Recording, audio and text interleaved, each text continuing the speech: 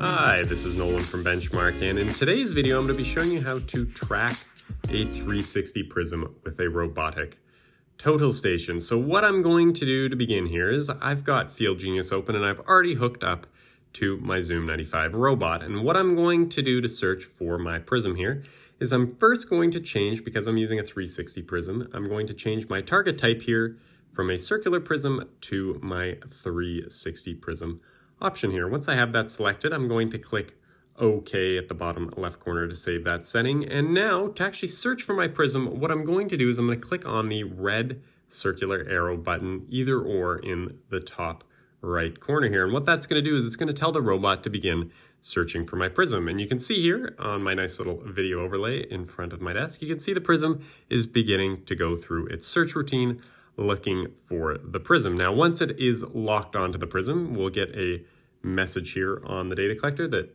basically my loading menu disappears and my two red arrows have become green and if I move my prism around it will now begin to follow me and I'm ready to begin whatever work I need to do with this robotic total station. But for now, that is everything in today's video.